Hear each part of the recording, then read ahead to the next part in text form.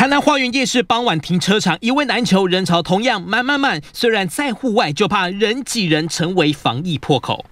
若有身体不适，请戴口罩，立即就医。台南市政府首次出动空拍机挂扩音器，盘旋在上空宣导保持社交安全距离。台南市长黄伟哲也来视察，对保持社交距离是有很重很大的必要性。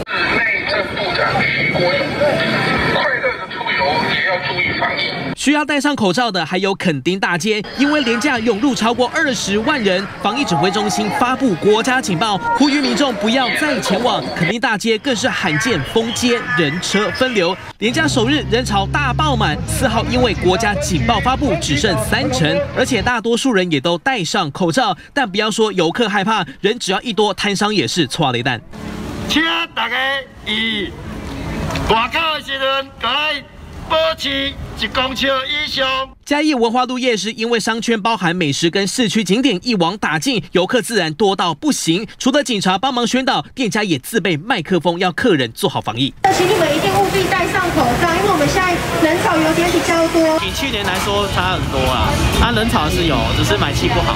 高雄瑞丰夜市同样起翻天，两个分局警力前往宣导。新冠肺炎防疫期间遇到第一个连续假期，民众外出踏青或逛夜市解解闷，全台警察陆空宣导，疲于奔命。记者南部综合报道。